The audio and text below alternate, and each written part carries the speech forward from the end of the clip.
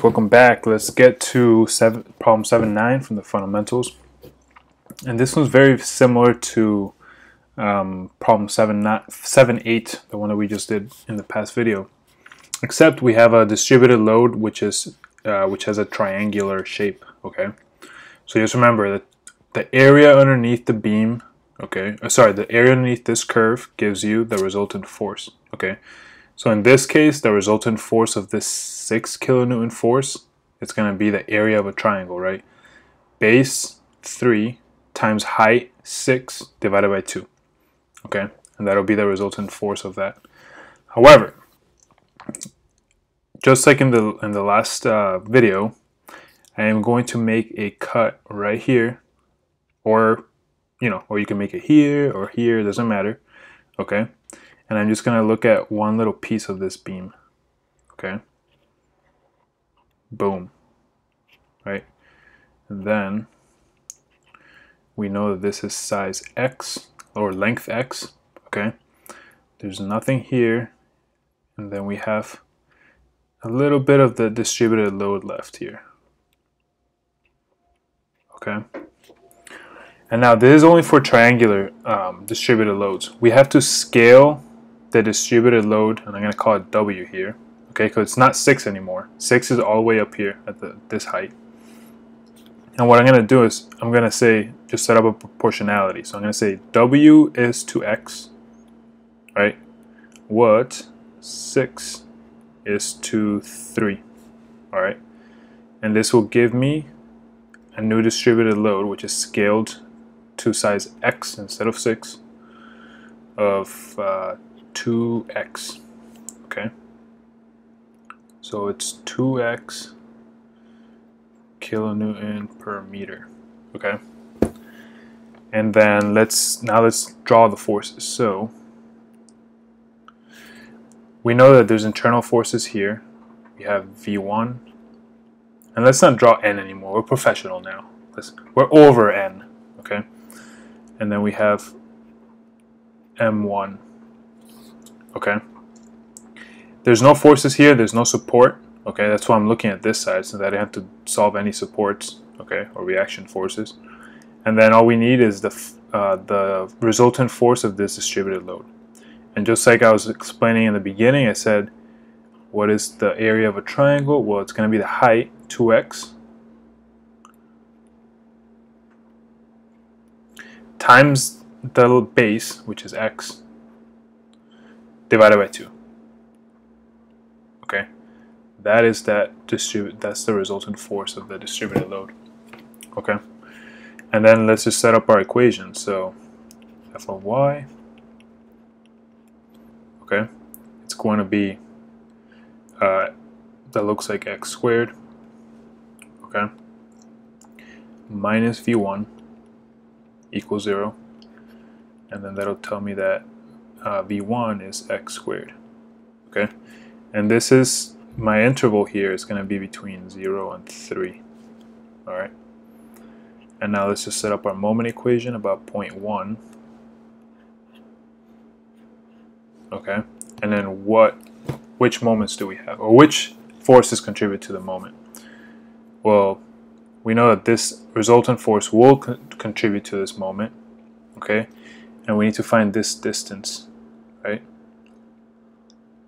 And I'm gonna let you guys think about this while I set it up. what is that distance going to be? Think back on the centroid of a triangle. Okay, so first I'm gonna add M1 here because we know it's a counterclockwise torque. Then we know that force, that resultant force, is going to cause a counterclockwise torque, and the force is x squared. Okay, and then what is that distance? Equals zero. That distance here is going to be x over 3. Okay, it's hard to see, but x over 3. Okay?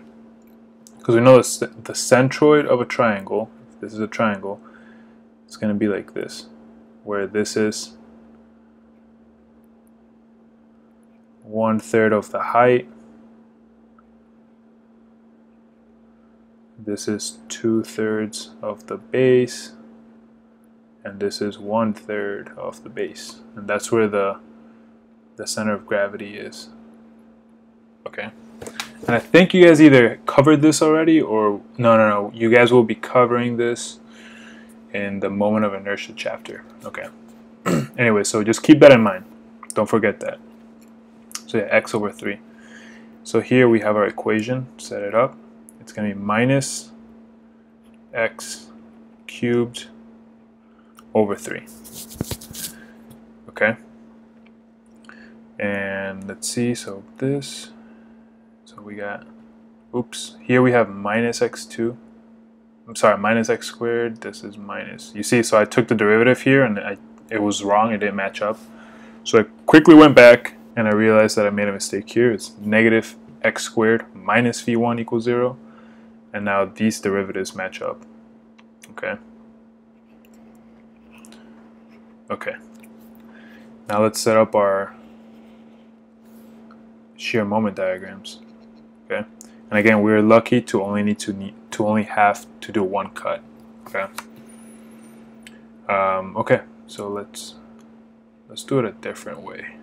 This is the way that I was taught to do them. Do them all in one graph.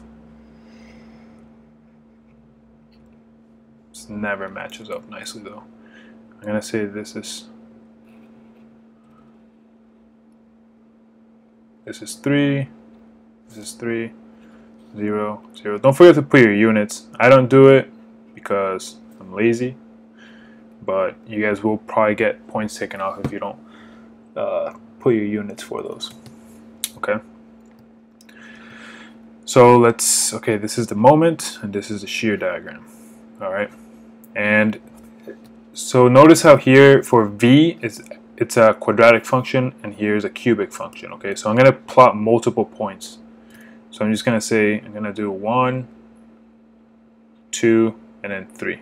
Okay, and same thing with this. Da, da, da, okay, one. Here's two. Okay, and I'm gonna start with v1. So evaluating at zero. So 0 squared, 0. Perfect. Okay. 1 squared, it's 1 times negative 1. So, right here. Then I have, so is 1, 2, 3, 4. Okay. 5, 6, 7, 8, 9. I'm to say is 9. It's getting out of hand here. Okay, and then plotting it at 3, I have a negative 9. Okay, so there we have our shear diagram. It should be Q, a quadratic function. So it should be a downwards parabola. Okay.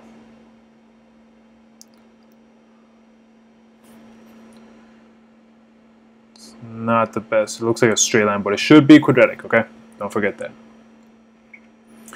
Now we're going to do this next one. So evaluating at 0, 0.